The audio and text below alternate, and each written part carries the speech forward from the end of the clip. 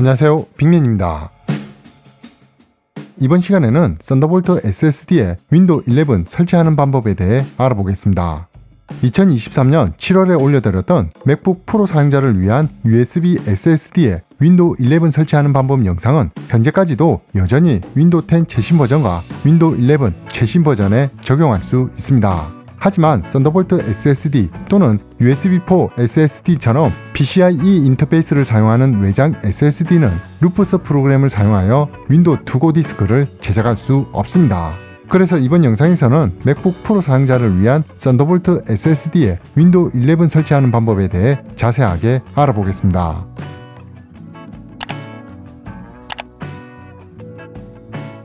이 영상을 보시는 분들이라면 Thunderbolt SSD 또는 USB4 SSD가 이미 준비가 되었을 텐데요. 준비된 SSD는 초기화를 할 예정이기 때문에 반드시 중요한 자료가 있는지 확인합니다. 그리고 Thunderbolt 3 또는 이후 버전의 Thunderbolt 포트가 있는 Windows 컴퓨터를 준비합니다. 만약 Thunderbolt 포트가 있는 Windows 컴퓨터가 없다면 MacBook에 Boot Camp를 사용하여 Windows 10 또는 Windows 11을 설치하여 사용하셔도 됩니다. Boot Camp를 설치하는 다양한 방법은 오른쪽 상단 카드 또는 아래 더보기를 참조 바랍니다. 준비된 윈도우 컴퓨터에서 윈도우 11 디스크 이미지 파일을 다운로드합니다. 다운로드 방법은 오른쪽 상단 카드 또는 아래 더보기에서 윈도우 11 디스크 이미지 파일 다운로드하는 방법 영상을 참조하시기 바랍니다.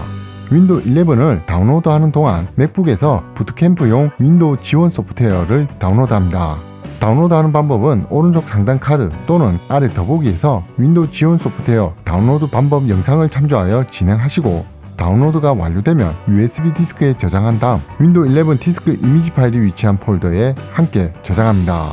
마지막으로 추가 설정을 위한 Windows To Go Setting.cmd 파일을 아래 더보기 링크를 참조하여 다운로드합니다. 준비물을 정리해보면 Thunderbolt SSD와 Thunderbolt 포트가 있는 윈도우 컴퓨터 그리고 이 컴퓨터에 윈도우 11 디스크 이미지 파일과 윈도우 지원 소프트웨어, Windows To Go Setting.cmd 파일까지 준비가 완료되었다면 다음 단계로 넘어가겠습니다.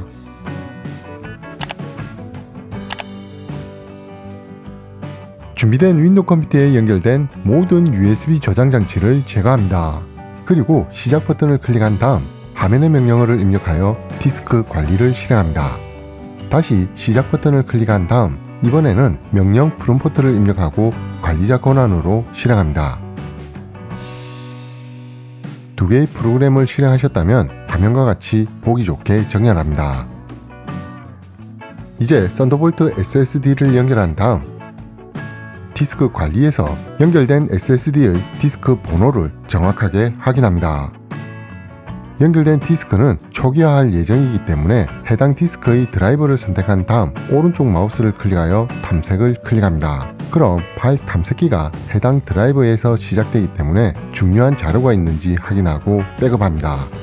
이제 파일 탐색기는 닫고 명령 프롬프트 창으로 이동합니다. 디스크 관리에서 불가능한 설정을 제공하는 DiskPart를 실행합니다. Thunderbolt SSD의 디스크 번호는 알고 있지만 DiskPart에서도 확인해 보겠습니다. 연결된 디스크 목록을 확인하기 위해 명령어를 입력합니다.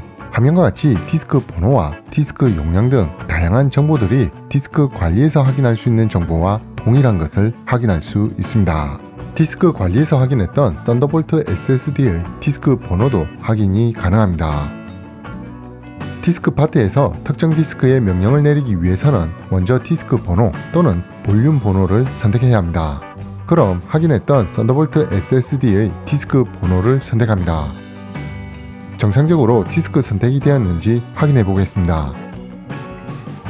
화면과 같이 선택된 디스크 번호 왼쪽에 별 표시가 있다면 정상적으로 선택되었으며 지금부터 실행하는 명령어는 해당 디스크에 적용됩니다.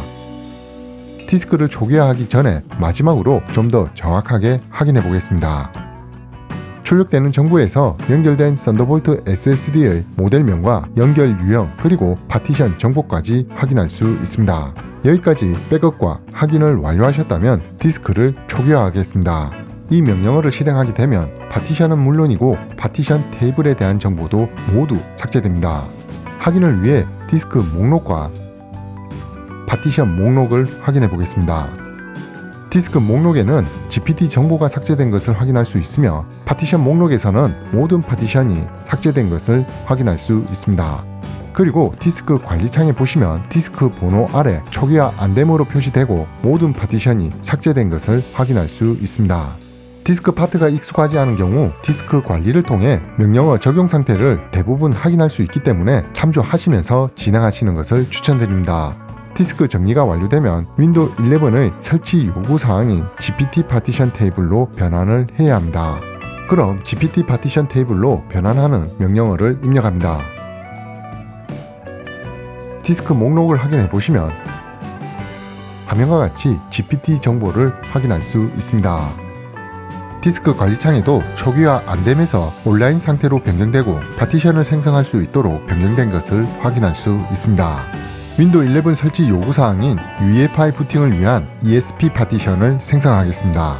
용량은 100MB로 설정하겠습니다. 이렇게 파티션을 생성하게 되면 별도의 명령어 필요 없이 자동으로 파티션이 선택됩니다. 확인을 해보시면 파티션 2 오른쪽에 별 표시를 통해 선택된 상태인 것을 확인할 수 있습니다.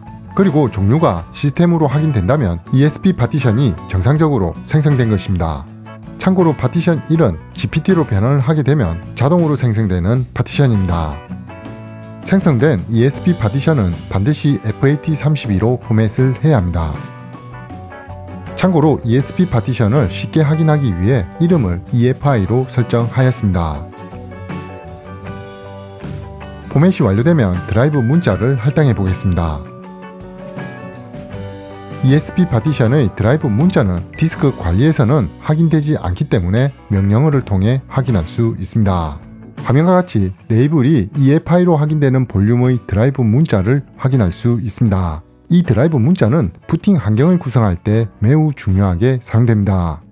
이제 나머지 공간을 기본 파티션으로 생성하여 윈도우 11 설치뿐만 아니라 데이터를 저장할 수 있는 공간으로 만들겠습니다. 파티션 목록을 확인해 보시면 화면과 같이 파티션 3이 생성된 것을 확인할 수 있습니다. 디스크 관리창을 보시면 나머지 공간이 하나의 파티션으로 생성된 것을 확인할 수 있습니다. 그리고 파일 시스템이 없기 때문에 RAW 상태인 것을 확인할 수 있습니다. 윈도우 11 요구사항에 따라 NTFS 파일 시스템으로 포맷을 하겠습니다.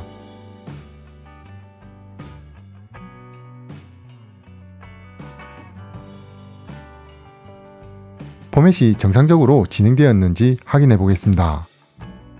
화면과 같이 드라이브 이름과 NTFS 파일 시스템이 정상적으로 적용된 것을 확인할 수 있습니다. 디스크 관리에서도 드라이브 이름과 NTFS 파일 시스템이 적용된 것을 확인할 수 있습니다. 그런데 아직 드라이브 문자가 할당되지 않은 것을 확인할 수 있습니다. 그럼 드라이브 문자를 할당해 보겠습니다. 정상적으로 적용되었는지 확인해 보겠습니다. 화면과 같이 윈도우 11 레이블을 가진 볼륨의 드라이브 문자가 적용된 것을 확인할 수 있습니다. 디스크 관리창에서도 확인이 가능합니다.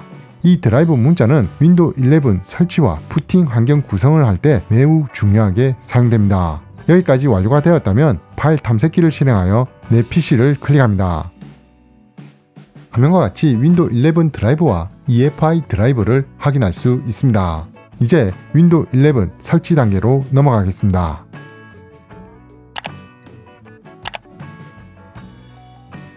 이제 윈도우 11을 설치해 보겠습니다. 열려있는 디스크 관리 창은 닫고 이 자리에 파일 탐색기를 배치하겠습니다. 파일 탐색기에서 다운로드했던 윈도우 11 ISO 파일을 선택한 다음 오른쪽 마우스를 클릭하여 팝업 메뉴에서 탑재를 클릭합니다. 그럼 자동으로 탑재된 드라이브로 이동합니다. 탑재된 윈도우 11 ISO 파일에서 윈도우 11을 설치하는데 필요한 모든 데이터가 들어있는 install.wim 파일은 소스 폴더에 저장되어 있습니다. 이 파일을 사용하여 윈도우 11을 설치하겠습니다. 파일 탐색기는 소스 폴더 위치를 유지한 상태로 둡니다. 이제 명령 프롬프트에서 설치할 수 있는 윈도우 11 에디션부터 확인해 보겠습니다. diskpart는 종료하고 화면의 명령어를 입력합니다. 여기까지 입력하신 다음 install.wim 파일의 경로와 파일 이름을 정확하게 입력해야 합니다. 파일 탐색기에서 install.wim 파일을 선택한 다음 오른쪽 마우스를 클릭하여 경로로 복사를 클릭합니다. 이제 명령 프롬프트 창을 선택한 다음 마우스 오른쪽 버튼을 클릭하여 붙여넣습니다. 여기까지 완료하셨다면 엔터키를 눌러 실행합니다. 한국어 버전을 다운로드 하셨다면 화면과 같이 5개의 에디션을 확인할 수 있습니다. 여기서 설치할 에디션의 인덱스 번호를 확인합니다. 빅맨은 인덱스 3번, 즉 윈도우 11 프로 에디션을 설치하겠습니다. 이제 화면의 명령어를 입력합니다. 여기까지 입력하고 앞서 복사했던 install.wim 파일의 경로를 마우스 오른쪽 버튼을 클릭하여 붙여넣습니다. 계속해서 한 칸 띄어쓰기를 한 다음 명령어를 입력합니다. 인덱스 번호는 앞서 확인했던 설치할 에디션의 인덱스 번호를 입력합니다. Apply dir 옵션에는 윈도우 11 드라이브 문자를 콜론과 함께 입력하시면 됩니다. 그럼 화면과 같이 명령줄이 완성됩니다. 띄어쓰기와 경로가 정확하게 입력되었는지 확인합니다. 이제 엔터키를 눌러 실행합니다. 설치가 완료될 때까지 기다려 보겠습니다. 화면과 같이 작업을 완료했습니다 라고 뜬다면 윈도우 11 설치는 완료가 되었습니다. 이제 장치 드라이브 사전 설치 단계로 넘어가겠습니다.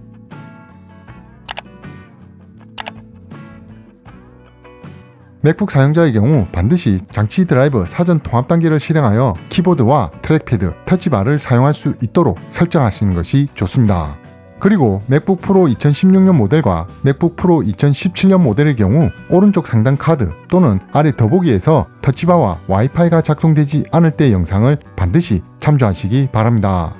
먼저 파일 탐색기에서 맥북에서 다운로드했던 윈도우 지원 소프트웨어 폴더를 선택한 다음 경로로 복사를 클릭합니다. 그리고 명령 프롬프트로 이동하여 화면의 명령어를 입력합니다. 윈도우 11 드라이브 문자에는 윈도우 11을 설치했던 드라이브 문자를 콜론과 함께 입력하시고 윈도우 지원 소프트웨어 경로에는 앞서 복사했던 경로를 마우스 오른쪽 버튼을 클릭하여 붙여넣습니다. 그리고 나머지 옵션까지 입력하여 화면과 같이 명령줄을 완성합니다. 띄어쓰기와 경로가 정확하게 입력되었는지 확인합니다. 문제가 없다면 엔터키를 눌러 실행합니다. 드라이버를 통합하는 동안 잠시 기다려 보겠습니다. 화면과 같이 작업을 완료했습니다 라고 출력되면 드라이버 사전 통합이 완료된 것입니다. 이제 파일 탐색기에서 윈도우 지원 소프트웨어 폴더를 복사하여 윈도우 11이 설치된 드라이브에 붙여넣습니다.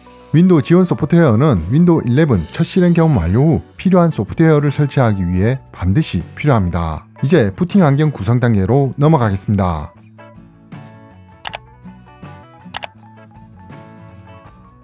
부팅 환경 구성 단계에서는 윈도우 운영체제를 실행하기 위해 Thunderbolt SSD에 부팅 파일을 구성하는 아주 중요한 과정입니다. 그럼 시작하기 전에 열려있는 파일 탐색기에서 EFI 드라이브 문자와 윈도우 11 드라이브 문자를 확인합니다. 그리고 명령 프롬프트에서 화면의 명령줄을 입력합니다. 윈도우 11 드라이브 문자와 EFI 드라이브 문자에는 파일 탐색기에서 확인했던 문자를 각각 입력합니다. 그리고 나머지 옵션까지 입력하여 화면과 같이 명령줄을 완성합니다. 띄어쓰기와 경로가 정확하게 입력되었는지 확인합니다. 문제가 없다면 엔터키를 눌러 실행합니다. 부팅 파일을 만들었습니다 라고 나타나면 부팅 환경 구성은 완료가 되었습니다. 이제 설치 마지막 단계인 추가 구성 단계로 넘어가겠습니다.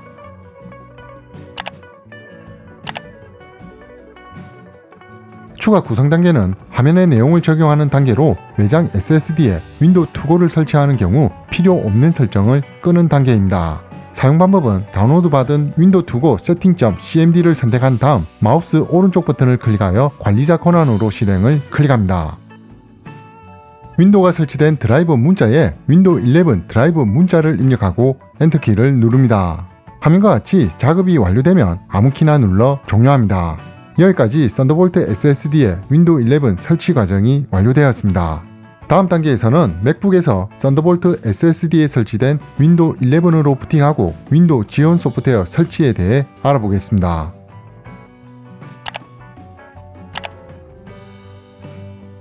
이제 윈도우 컴퓨터에서 Thunderbolt SSD를 제거한 다음 맥북에 연결합니다. 그리고 맥북의 전원이 꺼진 상태에서 전원 버튼을 누른 다음 바로 옵션 키를 길게 누른 상태에서 시동 관리자가 나타나면 손을 놓습니다. 시동 관리자에서 윈도우 디스크를 선택한 다음 옵션 키를 눌러 화면과 같이 화살표가 변경된 상태에서 리턴 키를 누릅니다. 그럼 잠시 후 첫 실행 경험 단계가 실행되면 화면의 지시에 따라 설정을 마무리합니다. 첫 실행 경험 단계가 마무리되면 가장 먼저 Thunderbolt SSD에 복사해 놓았던 윈도우 지원 소프트웨어를 설치합니다. 장치 드라이브 사전 통합 시 설치되지 않은 장치 드라이브와 소프트웨어를 설치하게 됩니다. 설치가 완료되면 반드시 재부팅을 하시고 설치된 애플 소프트웨어 업데이트를 실시합니다. 장치 드라이브 업데이트뿐만 아니라 다양한 버그에 대한 수정이 포함되어 있기 때문에 반드시 필요한 과정입니다. 이 업데이트는 보통 재부팅 과정을 거치면서 두 번 정도 업데이트를 진행합니다. 애플 소프트웨어 업데이트가 완료되었다면 윈도우 업데이트와 사용자 설정을 진행하시면 됩니다. 필요에 따라 Thunderbolt SSD의 용량을 분할하고 싶은 경우 오른쪽 상단 카드 또는 아래 더보기에서 윈도우가 설치된 드라이브를 지우지 않고 파티션 분할하는 방법 영상을 참조하시면 됩니다. 여기까지 맥북 프로 사용자를 위한 Thunderbolt SSD에 윈도우 11 설치하는 방법에 대해 알아보았습니다. 마지막으로 영상이 도움이 되셨다면 구독과 좋아요 부탁드립니다. 영상 제작에 큰 힘이 됩니다. 이상 빅맨이었습니다. 감사합니다.